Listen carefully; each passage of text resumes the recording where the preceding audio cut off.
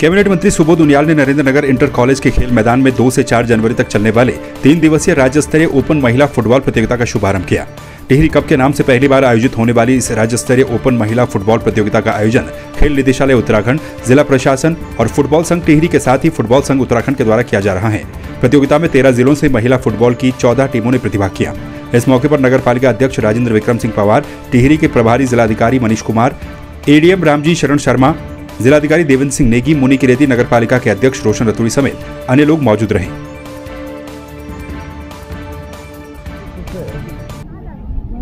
खेल के प्रति सरकार का बहुत गंभीर चिंतन हुआ यही कारण है कि अभी हमने कुछ समय पहले की खेल नीति लेकर के आए इसमें खिलाड़ियों के लिए तमाम तरह की सुविधाओं के अलावा उसकी आजीविका को खेलों से कैसे जोड़ा जाए?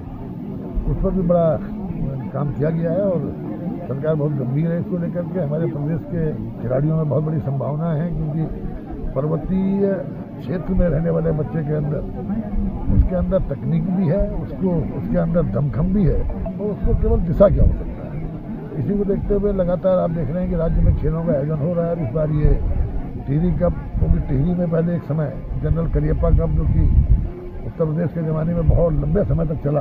टेरी शहर के घूमने के बाद उस कप को, का जो लगातार आयोजन होता था, वो नहीं हो पाया।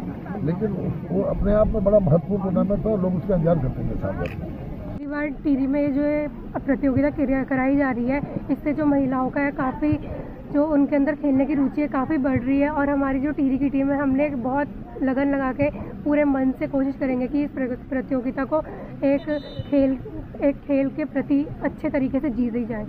और खेल टीरी में कई बार ये और जैसे पहली बार इस बार हो रहा है, हर बार ये हर साल लगातार ये होता जाए और हमारी टीम इसमें प्रथम आने की कोशिश पूरी जारी रखी। है बागेश्वर में सोमवार को जिलाधिकारी अनुराधा पाल ने जिला कार्यालय में जनता दरबार लगाकर लोगों की समस्याएँ सुनी। इस दौरान छोटी छोटी समस्याओं का मौके पर ही निस्तारण किया गया।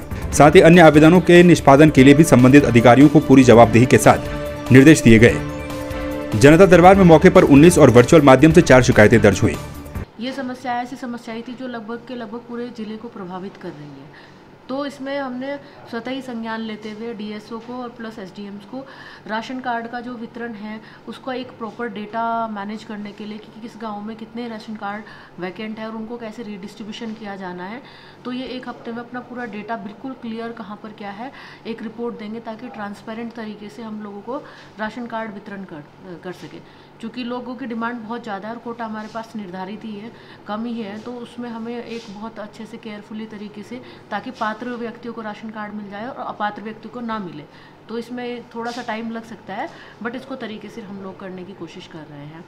दूसरी समस्या जो पानी को लेकर थी, जो यहाँ सिटी क्षेत्र में जो हमारे वार्ड है, जो हमारा तहसील रोड है, यहाँ पर बहुत बड़ी समस्याएँ हैं। तो इसमें हम एक डिसीज़न ये हुआ है कि शॉर्ट टर्म सॉल्यूशन क्या निकाला जाए। अगर हमें ट्यूबवेल या कुछ छोटा ट्यूबवेल की भी अगर ट्रायल बेसिस पर करने की हम कोशिश कर रहे हैं तो उसके लिए मैंने गो हेड कर दिया है कि ताकि वो कर ले, क्योंकि जो दूसरी बड़ी योजना है, वो तो थर्टी नाइन करोड़ की है, जो जिस पर आपत्ति लगी जो अभी स्वीकृत नहीं होगी। पौड़ी ज़िले के चौपटखाल विधानसभा के नौगांव खाल ग्राम सभा पाथर में घास काट रही एक महिला पर गुलदार ने हमला कर दिया। हालाँकि महिला ने दरांती से गुलदार पर वार कर अपनी जान बचा ली, लेकिन गुलदार के हमले में महिला को कई चोटें आई हैं। गुलदार के हमले के बाद से पूरे क्षेत्र में दहशत का माहौल है। आपको बता दें कि बीते साल यहाँ गुलदार ने एक महिला पर हमला किया था। पूर्व में वन विभाग के द्वारा पिंजरा लगाया गया था, लेकिन गुलदार वन विभाग की पकड़ में नहीं आ पाया। पाथर में जो है कि पुष्पा देवी वाइफ ऑफ़ राकेश रतूड़ी पे बाघ द्वारा जानलेवा हमला किया गया। जिस बाबत में आज हम उप उप जिलाधिकारी महोदय चौबट्टा से मिले हैं, उनको हमने जो है कि माननीय मुख्यमंत्री को ज्ञापन प्रेषित किया है, माननीय सांसद जी को ज्ञापन प्रेषित किया है और माननीय विधायक जी को ज्ञापन प्रेषित किया है। स्थिति ग्राम सभा में ये बनी हुई है कि हमारी ग्राम सभा में पूर्व विभाग द्वारा गंगा देवी भी हमला किया गया है। हम बार बार वन विभाग को सूचित करते हैं, वन विभाग की तरफ़ से खाना पूर्ति यहाँ पे की जाती है। भले वो पिंडा लगाते देते हैं, उसके बाद उस पर गश्त वो करते नहीं है। दूसरा इसमें सबसे बड़ा मुद्दा, ये जो बना हुआ है कि आज हमने जो लेटर दिया है, वो इसी बाबत में दिया है कि इसमें तुरंत पीड़ा लगाया जाए और बाघ यहाँ से पकड़कर दूसरी जगह छोड़ दिया जाए। हमारी ग्राम सभा की यही मांग है, या तो हमें विस्थापित किया जाए, क्योंकि हम बार बार अपनी मांग सरकार, शासन प्रशासन को दे रहे हैं, वन विभाग को दे रहे हैं, इस पर कोई कार्रवाई नहीं हो रही। दो बार पिंजड़ा लगा दिया गया है। उसमें एक भी बार बार जो है कि बाघ को बंद करने में, कैद करने में जो है कि वन विभाग असमर्थ रहा है। बार बार फ़ोन करने के बावजूद भी ये लोग जो है कि कोई इस पर कार्रवाई नहीं कर रहे हैं।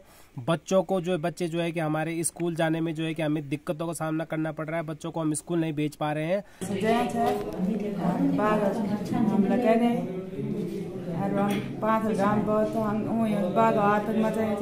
गाम पिछले साल भी निकाह बागल पाँच पाँच गाँव बहुत हुए हैं पाँच बागल पिछला पिछल पिछला तभी एक लड़की भर्ती हमारा था बहुत डर रही थी पाँच गाँव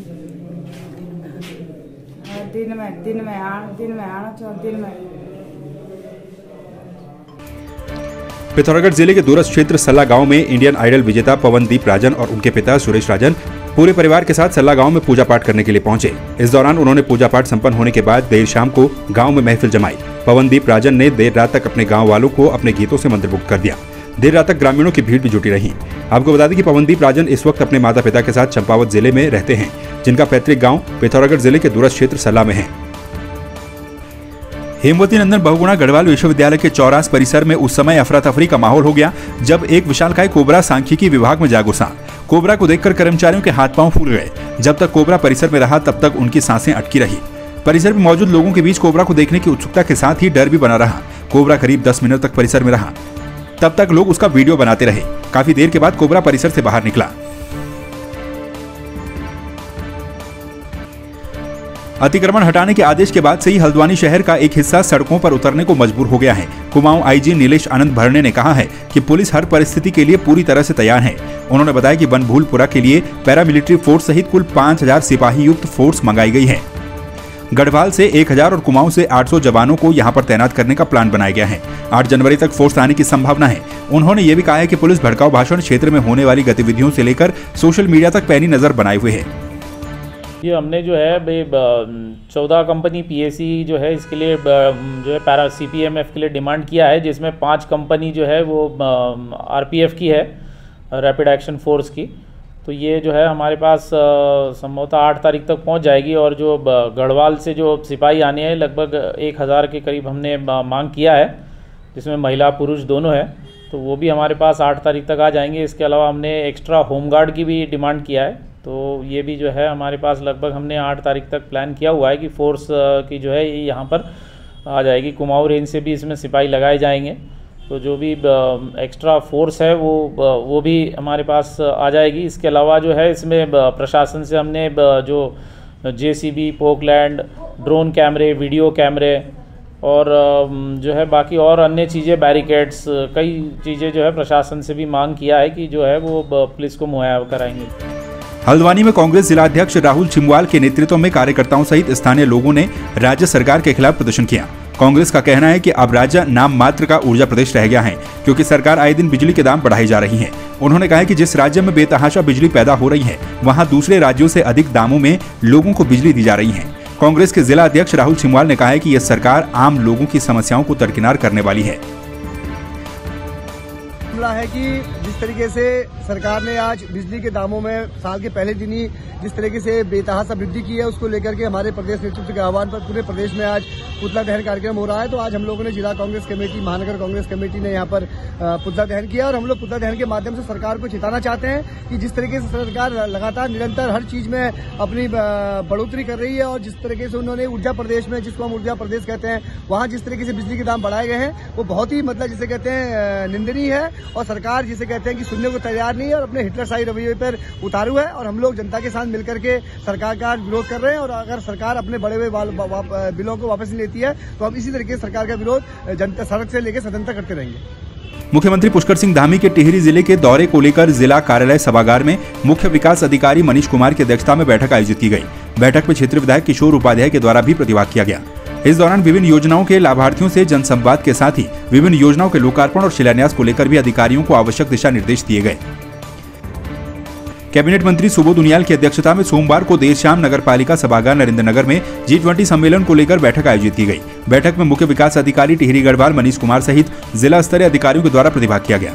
बैठक में अवगत करवाया गया कि देश में जी ट्वेंटी देशों का कार्यक्रम आयोजित किया जा रहा है और इसी क्रम में उत्तराखंड में 25, 26 और 27 मई के साथ साथ 26, 27 और 28 जून को दो विभिन्न कार्यक्रम किया जाना प्रस्तावित है जिसमें नरेंद्र नगर विधानसभा भी शामिल है।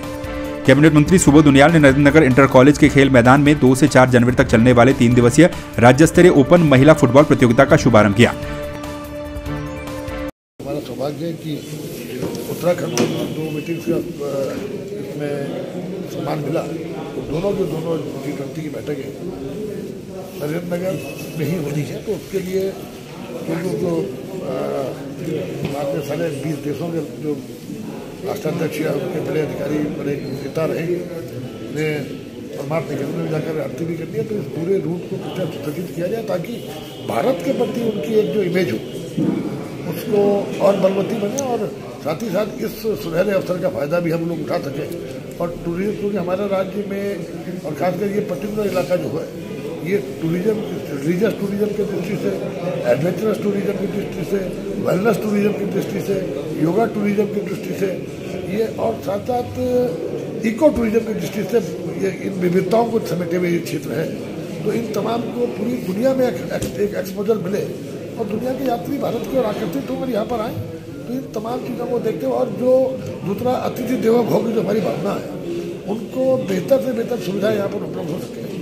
और एक वो भी जब यहाँ से जाएँ तो उनके ये लगे कि हाँ वे हिंदुस्तान की, सुंदरता के बारे में इस नरेंद्र इस पूरी यहाँ की यहाँ की मेजबानी से यहाँ के तौर तरीकों से और यहाँ के कल्चर से प्रभावित होकर जाएँ ताकि वो हमारे देश के प्रति उनके मन में अच्छी भावना बन सके